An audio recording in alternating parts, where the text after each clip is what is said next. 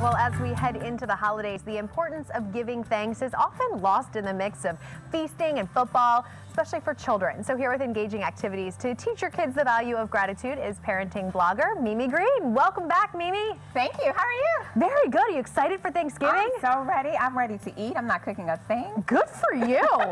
oh, well, that's the way to do it. Right. All right, so we're giving uh, some good, fun, crafty uh, gratitude things for our kids. Yes. So uh, a couple of years after Thanksgiving dinner, we've just taken to doing arts and crafts in the family. Yeah. So it's a good way to kind of get together, chit chat. Even adults get in on some of the kitty action. But it's really easy to do. You know, we're not breaking the bank. Most of these crafts are just paper. Okay. So we'll start with this cute little turkey box here. Uh-huh. So the box is part of like a snack box the kids had left over. I was going to put in recycling. So you can use any kind of box that Like you have. Like a tissue box Yep. or, okay. a tissue box, snack, box, whatever you have. Okay. Don't go out spending money on these things. The covering, all the details are just construction paper. So you Uh-huh. can get a pack of construction paper for maybe like four bucks. It's got like six colors in it. You know, whenever you go to the craft store, take your coupons. Okay. We're not paying full price. And I pretty much just wrapped it like a gift, right? Christmas is next month. We're getting Mm-hmm. ready, so you wrap it like a present.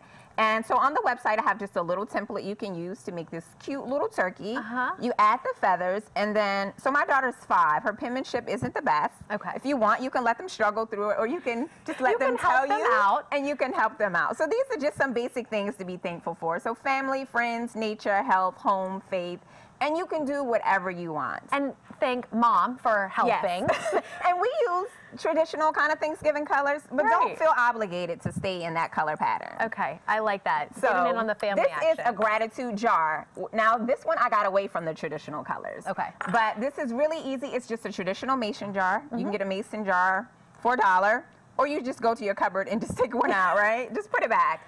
So I've just printed a little sign on here. It says, "What are you thankful for?" Now this one you could do for the little kids, you can do for the teens or the adults. Mm-hmm. So made a little note card here. It says, I am thankful for, and then you just write whatever you're thankful for. You can do this once a day. You can make it like a morning routine if you want, or, you know, before you go to bed. I have my GMW family.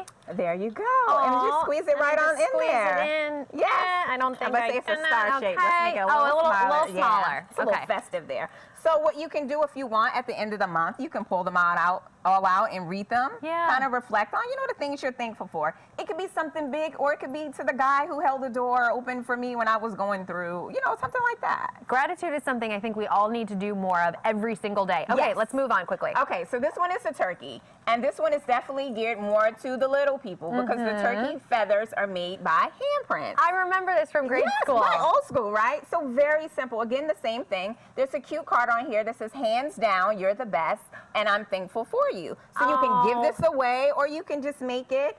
Or if your kid's young, they might come home with it for you from school. From school. Yeah. All right, what do we have next? So this one is a gratitude tree. Again, it's just construction paper. I found a template for a tree, printed it out. If you can draw, that's amazing. I cannot. so each petal on the tree is again something you're thankful for.